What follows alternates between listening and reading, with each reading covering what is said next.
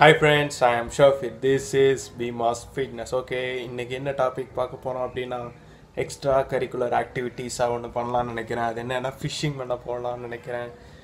Work இல்லை college இல்லை quarantine leave எந்த பிரச்சனையும் இல்லை. சரி பசங்களும் ரெடி ஆகிட்டேன்னு சொன்னாங்க.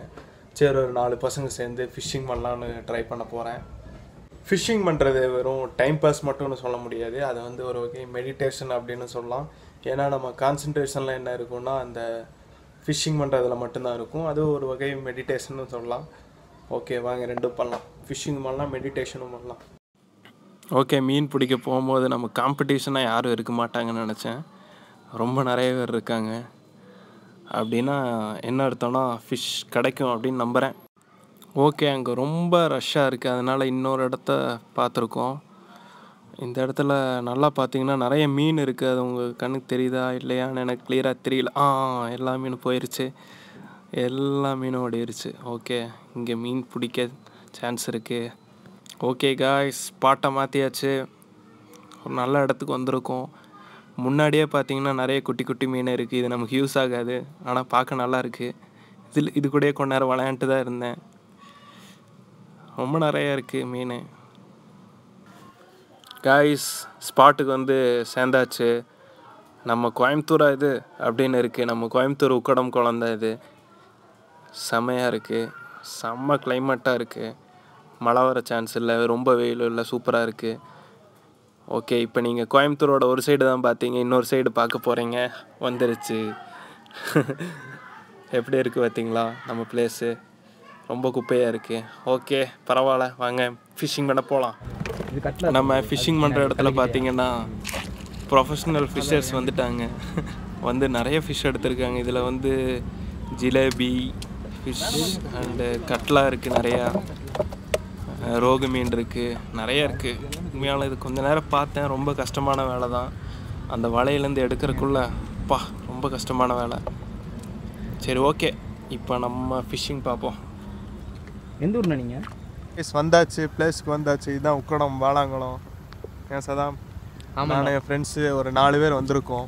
நல்ல பெரிய குளம் தான். நீட்டாக இருக்கும். ஒரு சைடு நீட்டாக இருக்கும். இன்னொரு சைடு பார்க்குறீங்களா இந்த மாதிரி கச்சடாவாக தான் இருக்கும். கைஸ் மழை வந்துட்டுருக்கு. உங்களுக்கு தெரியுதா இல்லையான்னு தெரியல. மண்டையெல்லாம் நனைஞ்சிருக்கு. ஸ்பைக் விட்ருக்கேன் ஓகே கைஸ் இப்போ நம்ம ஃபிஷ் பிடிக்க போகிறோம் ஃபிஷ் பிடிக்கிறதுக்கு முன்னாடி இந்த தீனி எப்படி செய்கிறதுன்னு பார்ப்போம். ஃபிஷ்ஷுக்கு கொடுக்குற ஃபுட்டு வெறும் மைதா மாவு மட்டும்தான். மைதா மாவும் ஒன்லி தண்ணி மட்டும்தான். இது மட்டும் நல்லா நீங்கள் சப்பாத்திக்கு குழைக்கிற அளவு நீங்கள் குழைச்சா போதும். அந்த சைஸில் குழச்சிட்டு அந்த அளவு குழைச்சி ஃபிஷ்ஷிங் பிடிக்க ஆரம்பிச்சிடலாம். இது இந்த மைதா மாவு வந்து எல்லா குளத்துலையும் செட் ஆகுமானா கேட்டால் கெ கண்டிப்பாக செட் ஆகாது. மண்புழு வச்சா மட்டும்தான் கிளியராக செட் ஆகும். ஓகே ஃபிஷ்ஷிங் பண்ண ரெடியாக இருக்கும். மண்புழுலாம் வேண்டாம். வெறும் மைதா மாவு மட்டும் இருந்தால் போதும். கொஞ்சம் இருந்தால் போதும். அதை வச்சு பண்ணலாம். நெக்ஸ்ட்டு வந்து தூண்டில் தூண்டில் எப்படி செய்கிறதுன்னு பார்ப்போம். எப்படி செய்கிறதுன்னு ஃபுல்லும் பார்க்க போகிறதில்ல சும்மா ரஃப்பாக காட்ட போகிறேன் ஃபஸ்ட்டு பார்த்தீங்கன்னா இதான் கொக்கி. கொக்கியில் மாவு போட்டிருக்கேன்.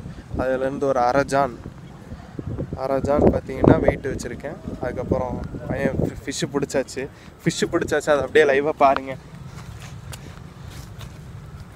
ஓகே மீடியம் சைஸ் தான். பிடிச்ச பிடிச்சவன பாருங்க. நல்லா இருக்கு. இது என்ன மீன் அப்படின்னு கேட்டிங்கன்னா இது ஜிலேபி மீன். கொஞ்சம் நல்லா ஃப்ரெஷ்ஷாக இருக்கு. இன்னி வாங்க நான் பிடிக்கிறது பார்ப்போம். ஃபிஷ்ஷிங் பண்ணிட்டு இருக்காங்க. பாருங்க. பீச் போட்டு எடுக்க போகிறோம் பாருங்க ப்ரோ இங்க பாருங்க இருக்குது பார்த்தீங்களா நம்ம ஏரியாவை எப்படி இருக்குன்னு? மேலே வந்து பாலம் இருக்குது சதமா சதம்.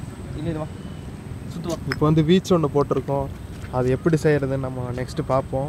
ஃபஸ்ட்டு இப்போ இந்த பீச்சில் ஏதோ மீன் சிக்கியிருக்குன்னு நினைக்கிறேன். உங்களுக்கு தெரியுதா இல்லையான்னு தெரில அங்கே ஒரு மஞ்சள் பால் இருக்குது இப்போ இழுக்கிறது காட்டு.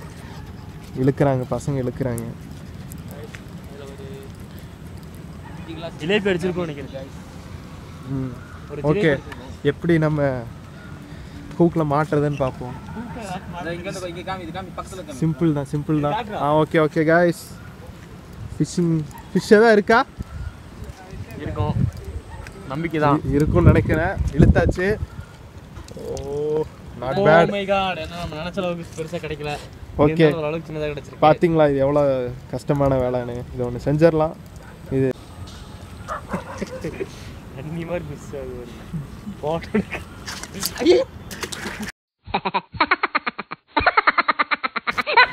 ஓகே காய்ஸ் இப்போ நான் ஃபிஷ்ஷிங் பண்ண போகிறேன் பாருங்கள் போட்டாச்சு. நீ வெயிட் பண்ணோம். I'm feeling high.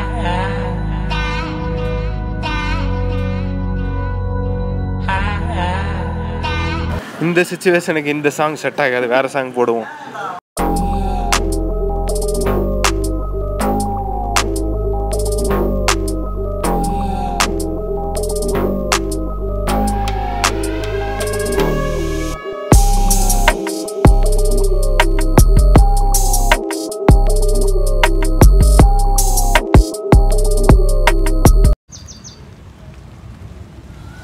காய்ஸ் மொத்தம் இவ்வளோ பிடிச்சிருக்கும். நீ நிறைய பிடிக்க போ.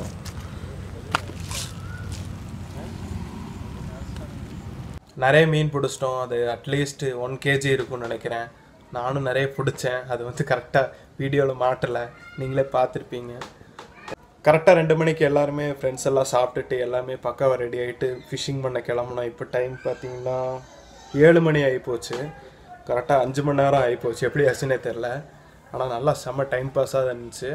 ஓகே காய்ஸ் இந்த வீடியோ உங்களுக்கு பிடிச்சிருக்குன்னு நினைக்கிறேன். இந்த வீடியோ பிடிச்சிருந்தா லைக் பண்ணுங்கள் கமெண்ட் பண்ணுங்கள் and never for to subscribe my channel இந்த மாதிரி எக்ஸ்பீரியன்ஸ் உங்களுக்கு இருந்தால் அது கமெண்டில் ஷேர் பண்ணுங்கள் மறக்காமல் இந்த சேனலை சப்ஸ்கிரைப் பண்ணிடுங்க பாய்